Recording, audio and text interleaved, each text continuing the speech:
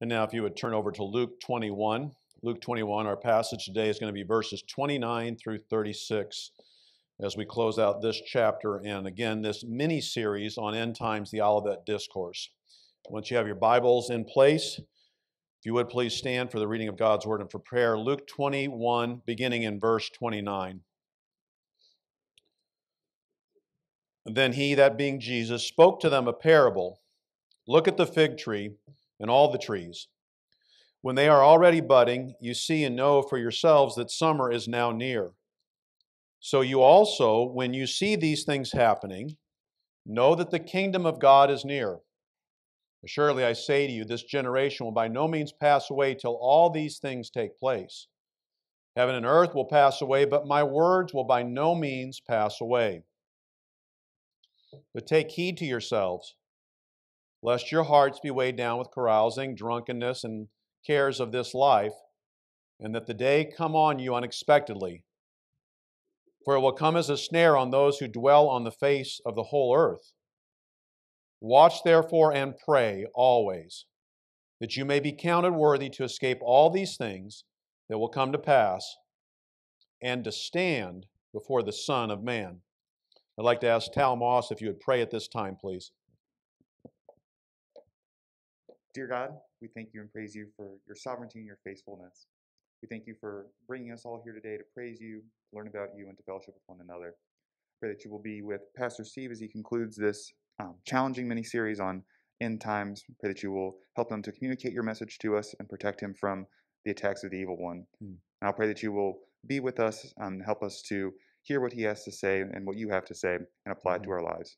In your name I pray. Amen. Amen. Amen. Thank you. you may be seated.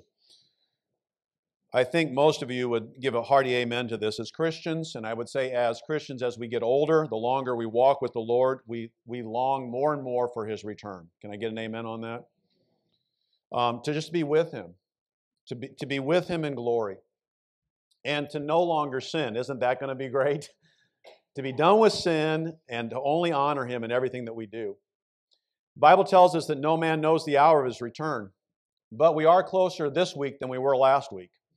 We're closer now than when we first started this Olivet Discourse study, and we are closer now than when we first trusted in Christ as Savior. As the day approaches, we've been told several things to do. Uh, last week, Jesus says, As you see the signs, lift up your heads, for your redemption draws near. I think that's kind of interesting that he would say that. Because I think oftentimes as things take place, that especially the signs of the times, we're discouraged and we're down. But he said we should lift up our heads. Our countenance should be up, for the Son of Man is to return. In the passage that we're going to look at today, Jesus said that when you see the signs of the time, two things. Number one, know that the kingdom of God is near. And number two, be watchful. So let's start with that first idea, namely that the kingdom of God is near. There's a parable in this passage, verses 29 through 33. The parable might just simply be an illustration. When you see a fig tree beginning to bud, then you know that the summer is near. That's just the logical, natural outcome. And so, as you see the signs of the time, know that the hour is soon approaching for the Lord to return.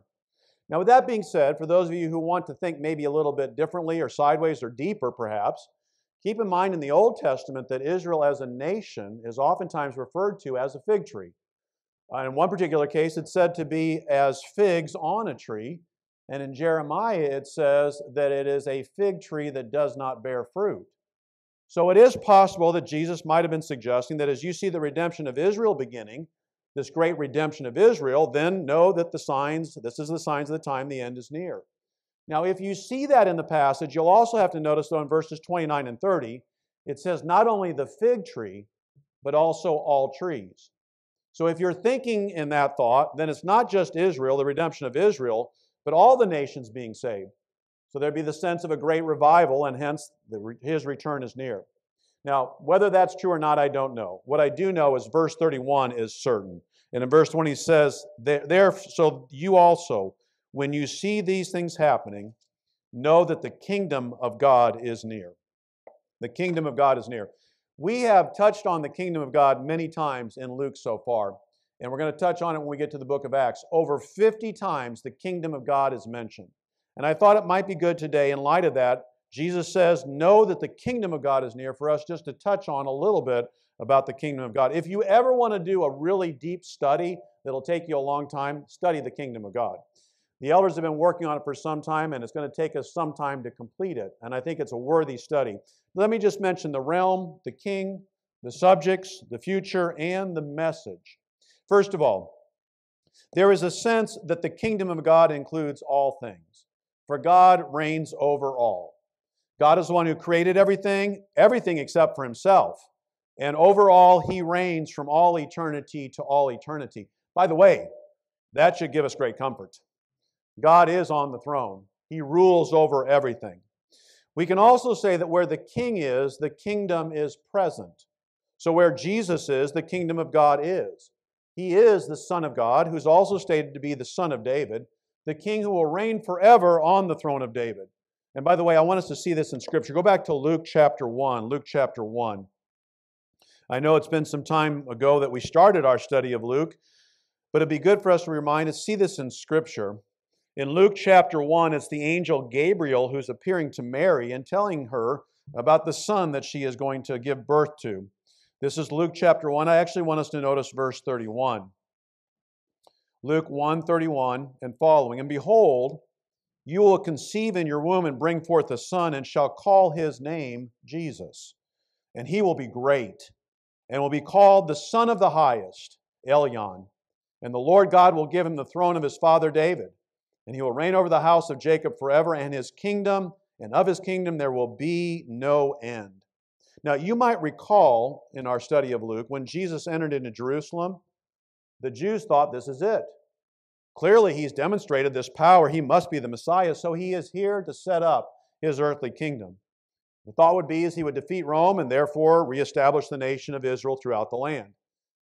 Those who were present must have thought it was strange and indeed sad that Jesus would say on that occasion, My kingdom is not of this world.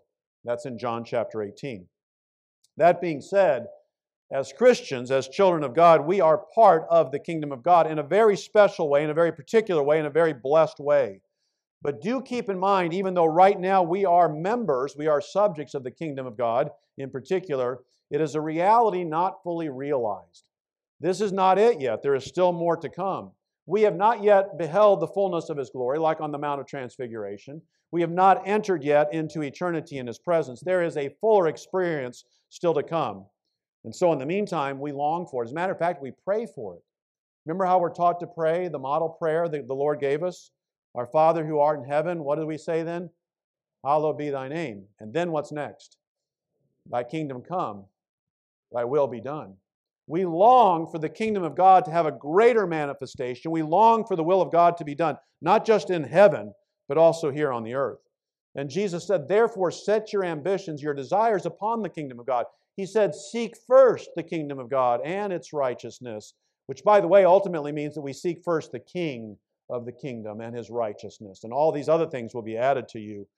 And then Jesus also said in that passage in Luke, he said that it's the Father's good pleasure to give to you the kingdom. There is still more to come. And the reason we know that this is secure is because our surety is Christ Himself. We have confidence in Christ alone because He is with us. He said that if he goes away, he will send another, a helper, a comforter, the Holy Spirit, to be within us. And so we have this abiding hope and trust because the kingdom of God, in a sense, is not only among us, but it's within us. I'd like for you to see that as well. Go to Luke 17, Luke chapter 17, and see there the words of Jesus as the question is raised Will you give us the kingdom? Is this the time? And he speaks about it in very basic terms that the kingdom of God is among us and, in a sense, is within us as well. This is Luke 17, verse 20. Now, when he was asked by the Pharisees when the kingdom of God would come, he answered them and said, The kingdom of God does not come with observation, nor will they say, See here or see there. For indeed, the kingdom of God is within you. Now, I want to go a little deeper because there's a, something I want to draw our attention to later on when we talk about the Olivet Discourse. So, continuing in verse 22, then he said to the disciples, The days will come when you will desire to see one of the days of the Son of Man, and you will not see it. For they will say to you, Look here or look there. Do not go after them or follow them. For as the lightning that flashes out of one part under heaven shines to the other part under heaven, so also the Son of Man will be in his day. But first, he must suffer many things and be rejected by this generation. And as it was in the days of Noah, so will also be in the days of the Son of Man.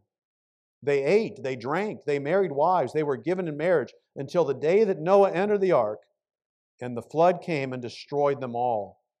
Likewise, as it was also in the days of Lot, they ate, they drank, they bought, they sold, they planted, they built. But on the day that Lot went out of Sodom, it rained fire and brimstone from heaven and destroyed them all. Even so it will be in the day when the Son of Man is revealed.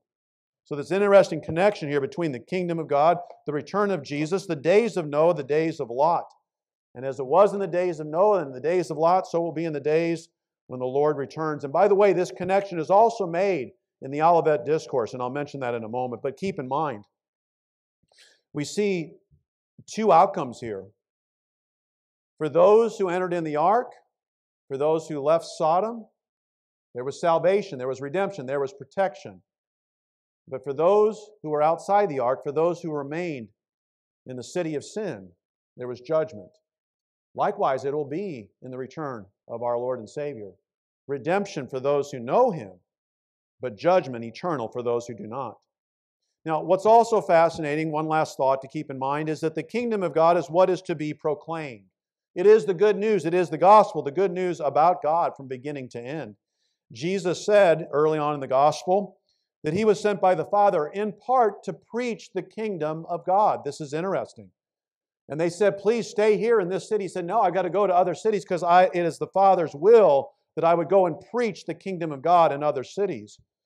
And this is a work that's to continue, a work that Jesus not only fulfilled while he was here on earth, but it's a, a, work that he gave to his disciples, the apostles, that they too should go and preach the kingdom of God. Go to Acts, Acts chapter 1. Acts chapter 1. Jesus is about to ascend, and Luke, who writes Luke and the book of Acts, is writing to Theophilus and giving him an account of all that Jesus both did and that he taught. And so I'm in verse 2 now in Acts chapter 1.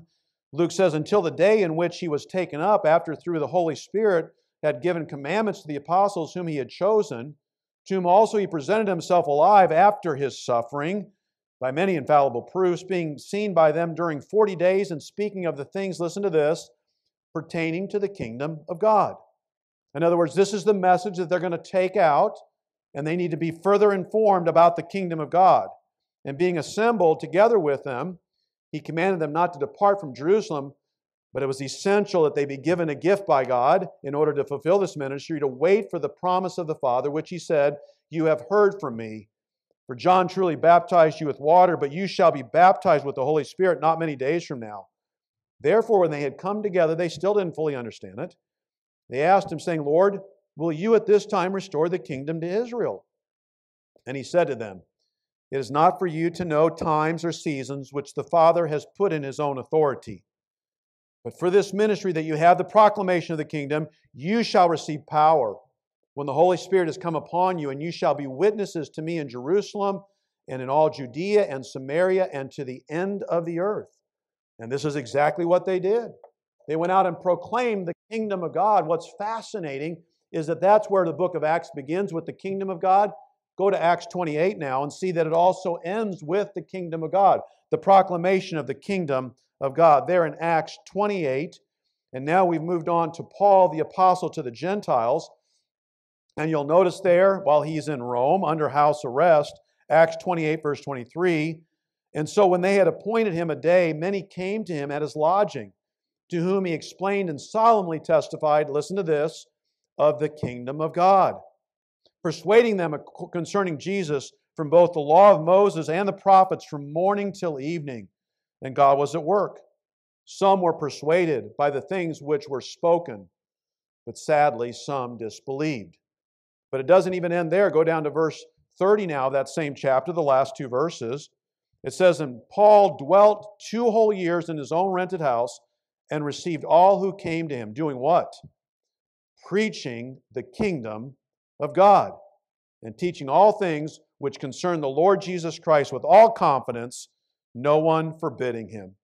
So the book of Acts begins with the kingdom of God, it ends with the kingdom of God, and I would say it is a mission, a proclamation that is not yet completed. For we are to carry it on. There's a sense in which it's reached all, that is to say, all the Gentiles have been reached in a general sense, but we are to proclaim it to all tribes and all tongues until the message of the kingdom of God is declared to all. And this requires using not only our words, but remember that the kingdom of God is supposed to be manifest in our very lives. 1 Thessalonians chapter 2. And so we preach the kingdom of God, we proclaim it, we live it out, knowing that as we see the signs of the times, the return of Jesus, then the kingdom of God, the king in its fullest expression, our ultimate reality is near. For that, let's go back to Luke 21 and be reminded of that once again. That when we see the signs of the times, we are to know that the kingdom of God is at hand, it is near, the king will return. This is Luke 21, verse 31 again. So you also, when you see these things happening, know that the kingdom of God is near. Assuredly, I say to you, this generation will by no means pass away till all things take place. Heaven and earth will pass away, but my words will by no means pass away. Now, just a quick side note for those of you who like to know details. When he says the generation here, there's three different ways you could understand the word generation. Was Jesus saying that the generation that was present when he was speaking would not pass away until he returned? Well, if that's how you understand it, then in this case, he's speaking about that coming in judgment upon Jerusalem. But the word generation might also refer to the generation of people from the time Christ ascended until he'll come again. If that's the case, then we are part of that generation. And that generation will not come to an end until Christ returns. It is the final generation here on earth, the times of the Gentiles. Jesus also might have been saying that that final generation, when they see the signs of the time, they will not pass until Christ returns. However, you take it, I don't know, but I do know this His words will not pass away. Heaven and earth will, but what Jesus said will occur. He will return. And therefore, we are to be a watchful people, waiting and looking for his return, with our heads lifted up, for our redemption is near. And therefore, first of all, take heed to ourselves. We do not want, we do not want the here and now to consume us. I'm in Luke 21, verse 34. But take heed to yourselves, lest your hearts be weighed down. And notice there's three thoughts here with carousing, drunkenness, and the cares of this life and that day come on you unexpectedly. Those three thoughts there, if I understand it correctly, I believe that Jesus is saying three thoughts. Number one, don't ignore reality, don't seek to escape reality, and don't be overcome with reality. Don't ignore reality. Don't just bounce around from party to party, ignoring what's going on. Don't seek to escape reality, either being drunk or intoxicated with something else, that it should control you. And don't be overcome with reality. Don't be weighed down by the cares of this life.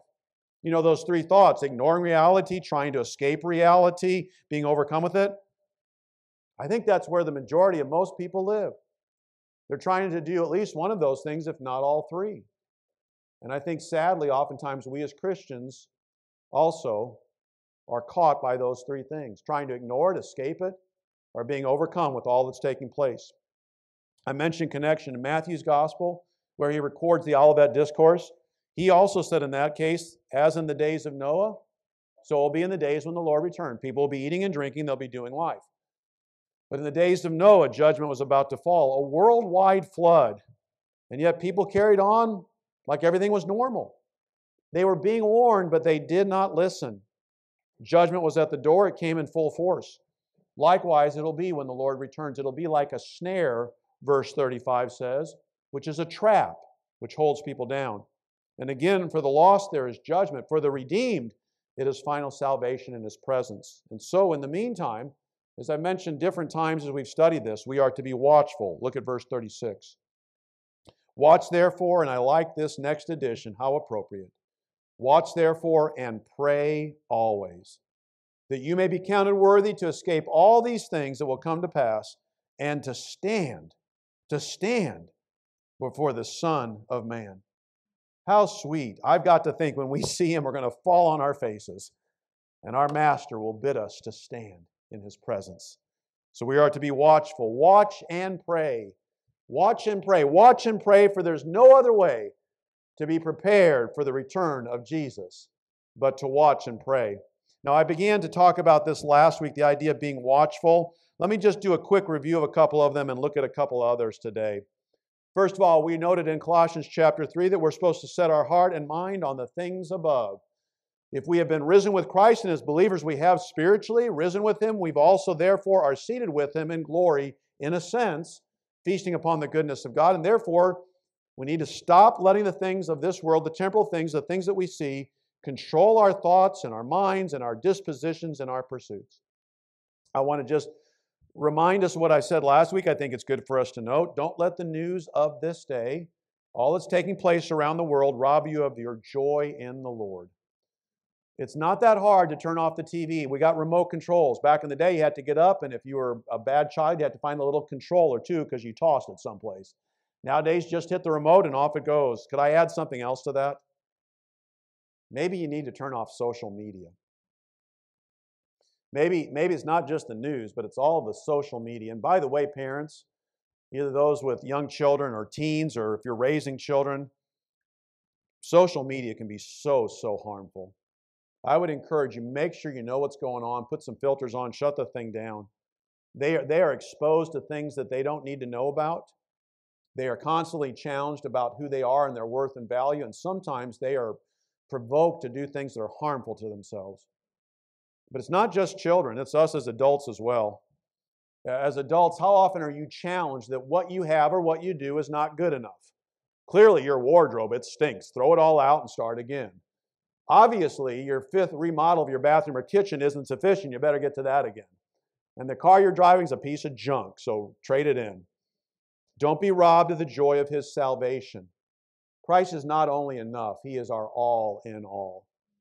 And I guess while I'm on the topic, I'm going to go a little bit further, and no doubt I'll get in trouble.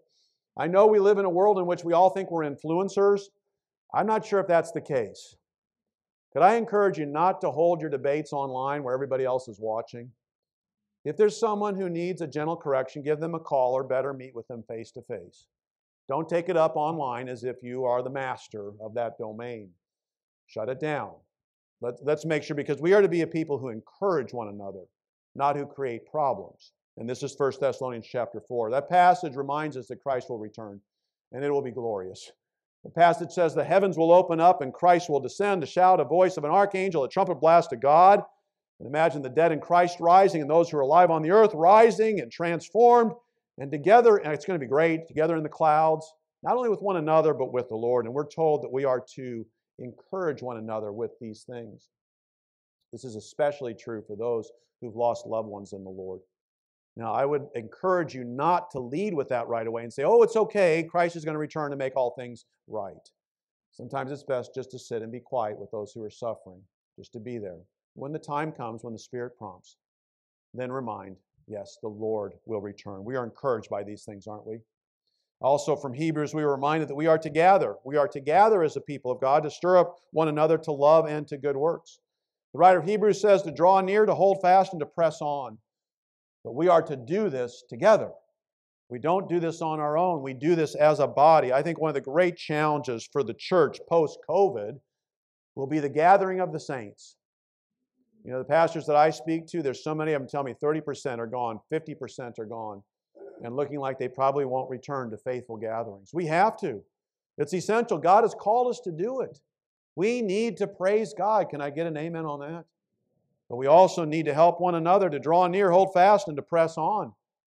And again, in a world that focuses so much on self care and self love, that this is the norm. We need to be reminded that first and foremost, we must love Christ. And then love his body, one another, and serve one another. Now let's go to 1 John chapter 2, a couple more passages in the text to see. 1 John chapter 2. 1 John chapter 2, John, the beloved disciple, writes, he tells the early believers that they are to purify themselves. And this is important because it not only reminds us of our conformity to the image of Christ, but in so doing, John says that you'll have greater confidence. When you purify yourself of sin and all that remains of sin, your confidence will grow in the Lord. 1 John chapter 2 verse 28. John writes, Now, little children, abide in him, that when he appears, we may have confidence and not be ashamed before him at his coming. Doesn't that sound good? To no longer have any shame in his presence. If you know that he is righteous, you know that everyone who practices righteousness is born of him. Behold, what manner of love the Father has bestowed on us that we should be called the children of God. Therefore, the world does not know us because it did not know him. Beloved, now we are children of God. In other words, we now have eternal life. We're now part of the kingdom. And yet it's real, not fully realized. It has not yet been revealed what we shall be. But we know that when he is revealed, we shall be like him, for we shall see him as he is, face to face. And everyone who has this hope in him purifies himself just as he is pure. It is with this hope, by the way, which is confidence. Our hope is not whimsical, it's not wishy washy, it's secure because our confidence in Christ is there. And therefore, we are to purify ourselves of all that remains of sin and sinful desires. You know, it's not just enough for us to be able to say, well, I didn't do that ugly thing or say that ugly thing. We need to mortify the flesh and the desires of the flesh as they start to rear themselves within. We ought not to ignore, we cannot seek to escape. We shouldn't be overcome by this world. Be reminded that we are overcomers. And therefore, daily we're conformed more and more to his glorious image as he heaps grace upon grace upon grace. Let me say this as well. Please realize, we were talking about this this last week in one of our lead studies. It is a battle. It is a spiritual battle. And the spiritual battle is not the oddity. It's not as if we're wandering around and every now and then we're attacked with a spiritual attack. It is an ongoing thing that takes place.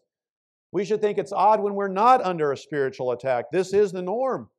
And don't think it's strange as you seek Him, as you serve Him, as you strive with others to honor Him, that you'll be attacked by the evil one and his minions. It will happen. And I often remind people as you're about to serve in a particular way, maybe in a way that you don't typically serve, you better be prepared for the spiritual attack in an intense way. And then afterwards as well, after you think, wow, praise the Lord, look at what's taken place, and suddenly you start to take credit, and then you're attacked heavily. He is the deceiver, He is the divider. I want to add something else. Keep in mind, it's not just the evil one, isn't it? We still, while we're here on this earth, that old dead man still hangs on and wants to drag us down. And just as soon as you think you're doing all right, it's like he trips you up, it's like he whispers in your ear, and off you go in some selfish endeavor. When it rears its ugly head, let's examine ourselves and work out our salvation with fear and trembling. And let's give him thanks that he is the one who not only wills, but accomplishes and works his will in us. The last one I want you to see in scriptures right now is in Jude. In Jude. I would say Jude 1, but there's only verses in Jude. So make your way towards the final book of the Bible, Revelation. and You'll find that little book, Jude, just 25 verses. And in this particular passage, I want you to be reminded that we are called to persevere. This is what it means to be watchful, to take heed to ourselves. We are to persevere, but in a really odd and unique way. Jude also says that in that perseverance, that we're to be compassionate. I think this is interesting, this combination, because when we're persevering, it's like we're doing everything we can do to hold on, to hang on. He says, No, reach out. Persevere, but reach out in compassion. So notice what he writes there, Jude, verse 20 and following. But you, beloved, building, uh, beloved, building yourselves up on your most holy faith. And again, the connection, praying in the Holy Spirit. Keep yourselves in the love of God looking for the mercy of our Lord Jesus Christ unto eternal life. And on some have compassion, making distinction, but on others save with fear, pulling them out of the fire, hating even the garment defiled by the flesh. So you see, once again, in this perseverance and this being watchful, we're to pray. But notice he says, take some responsibility. Strengthen yourself. Strengthen yourself and show mercy. In some cases, pull people even out of the fire and perhaps even the trial of their own making. But the thought is in all things to be compassionate.